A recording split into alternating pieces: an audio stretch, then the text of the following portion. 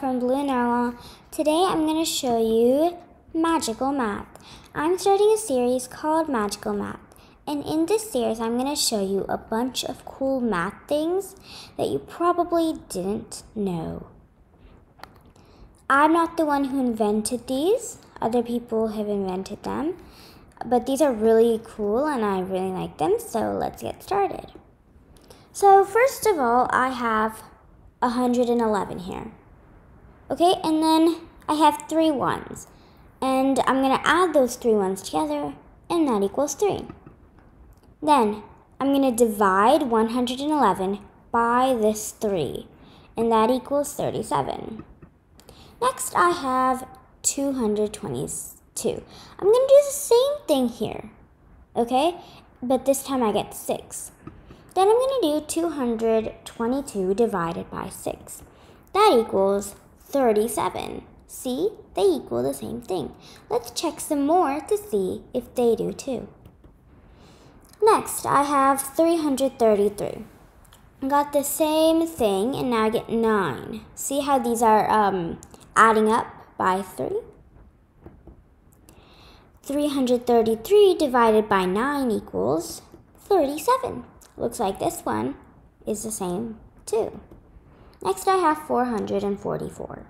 I'm going to do the same thing and I get 12. 444 divided by 12 equals 37. This one's the same also. 555. I'm going to do the same thing and that equals 15. Then 555 divided by 15 equals 37. This is following the same pattern even up to 515. Let's see if we can um, find out if more are doing the same thing. Next, I have 666. And when I add those numbers up, I get 18. Then 666 divided by 18 equals 37. Again. Then I have 777. I'm going to add them up, and that gives me 21.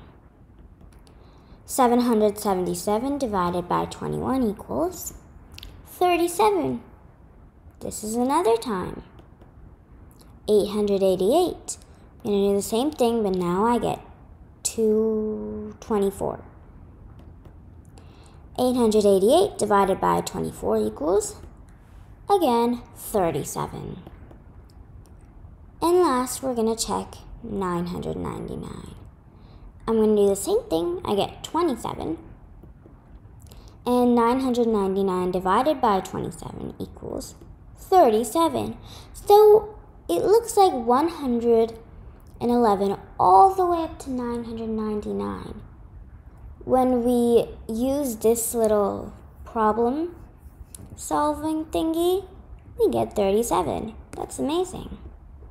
Okay, so 111 divided by 3 equals 37. 222 divided by 6 equals 37.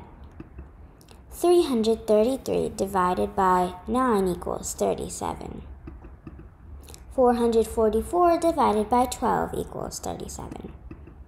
555 divided by 15 equals 37.